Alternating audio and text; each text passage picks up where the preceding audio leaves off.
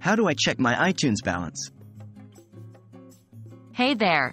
Welcome to this video tutorial on how to check your iTunes balance. If you're an avid iTunes user and want to keep track of your remaining funds, you're in the right place. In this video, I'll guide you through the steps to easily check your iTunes balance. Let's get started. Accessing the iTunes Store. The first step is to open the iTunes Store on your device.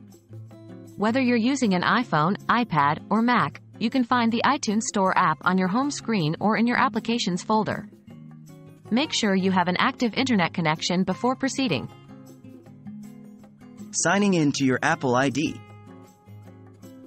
Once you have the iTunes Store app open, tap on the Sign In button located at the bottom of the screen.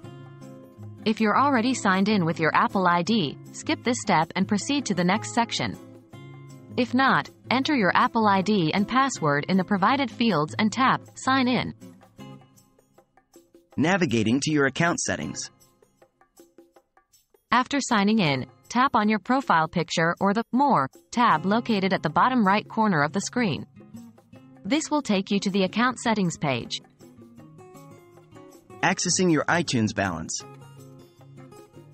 On the Account Settings page, scroll down until you find the Account section.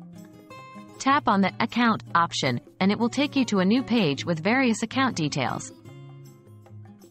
Checking your iTunes balance. Finally, on the Account Details page, you'll be able to see your iTunes balance. It will be displayed under the Apple ID Balance or Store Credit section.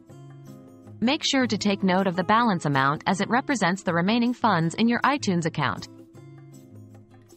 That's it. You've successfully checked your iTunes balance. Now you can keep track of your funds and make informed decisions when purchasing music, apps, or other content from the iTunes Store. I hope this video has been helpful to you. If you have any further questions, feel free to leave them in the comments below. Thanks for watching and have a great day.